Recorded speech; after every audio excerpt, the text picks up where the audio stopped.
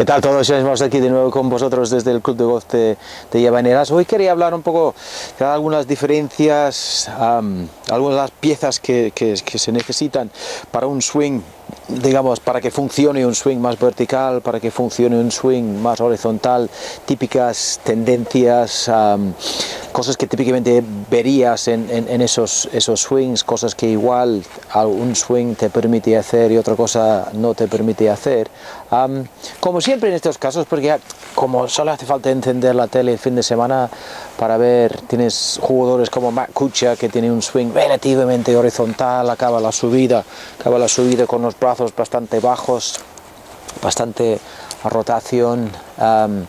del cuerpo en la, en, necesitada en la, en la, bajada para encajar las piezas. Y luego tienes obviamente tienes jugadores como Papa Watson, que tiene los, los, brazos muy, muy altos al final, al final de la subida, un swing mucho más vertical. Él tendrá otras necesidades en, en la bajada para poder llegar con... con efectividad en el, en, el, momento de impacto. Entonces, no es que necesariamente un swing sea más más efectivo que otro o mejor que otro. quizás hay, hay jugadores que por las características de su cuerpo, gente que tiene los brazos bastante más o más largos que lo que es su altura, para ellos es más, más fácil que igual su cuerpo se adapta más fácilmente a tener un swing un poco más más vertical, jugadores que tienen los brazos más o menos la, combinación, combinación, la suma de la longitud de los dos brazos más o menos igual que la altura, pues a esas personas pues les favorece, les es más fácil hacer un swing un pelín más horizontal, el brazo izquierdo se alinea con el, plano de, de los hombres con más facilidad. Las personas que tienen brazos más largos, pues los swings querrán tender a, a, pasar por encima de la línea de los hombros y personas, y, hay bastantes que tienen los brazos, la suma de la longitud de los dos brazos pues bastante más, más corta que, lo que la, altura, entonces para esas personas les va a ser mucho más difícil hacer un swing más, más vertical. Entonces, eso es muy importante a la hora de intentar confeccionar un swing para cada jugador, tener en cuenta un poco las características físicas de cada uno. ciertos cuerpos van a tender a querer hacer ciertas cosas y es importante, importante tener eso en cuenta a la hora de de intentar ayudar al alumno a la hora de, construir, construir un swing y a veces intentar que alguien con los brazos mucho más largos que, su altura haga un swing más horizontal es casi contraproducente porque su propio cuerpo no va a querer hacer eso digamos de forma automática, de forma más natural. Dicho eso, Dicho eso, la gran mayoría, la mayoría de la gente pues tiene más o menos la suma de la longitud de los brazos, es muy parecido a la, altura, entonces eso les permite, les permite hacer un swing. yo quizás si tuviera un modelo hacia donde voy con muchos alumnos, pues intentar alinear el brazo izquierdo con, con, los hombros al final de la subida y eso creo que es esa combinación de brazos y cuerpo que puede llegar a tener una mayor afectividad en, la bajada, te permite utilizar el cuerpo más, los swings con los brazos más altos, más cerca de la oreja derecha para el diestro al final de la subida, pues típicamente, no siempre, típicamente tienen menos rotación en la bajada, es más un swing de, brazos porque al final de la subida si tienes las manos ahí acercándose más a la oreja derecha, ya están relativamente cerca, comparado con un swing con las manos más atrás, relativamente más cerca de la línea de tiro. Entonces en la bajada, ese jugador si empieza a emplear más el cuerpo en la bajada, no va a poder cumplir con los requisitos del momento de impacto para tener un, swing excesivamente efectivo. Entonces, esas, esos jugadores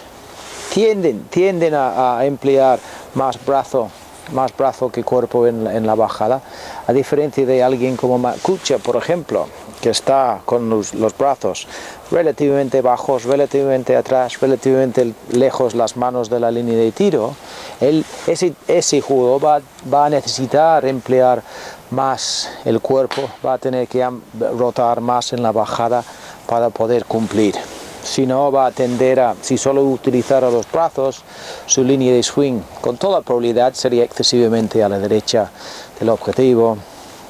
demasiada curva, bolas pesadas y, limpias. Entonces es esa combinación, yo con el alumno siempre estoy intentando buscar un, patrón efectivo para ese alumno que, tenga delante, cuál es el ADN, ADN de su swing, si toda la vida ha tendido a hacer un swing vertical, pues no necesariamente voy a, voy a tocar eso, quizás buscaría añadir alguna pieza para que sea más, más efectiva la bajada también con el judo que me viene con las manos y brazos más bajos, más atrás, pues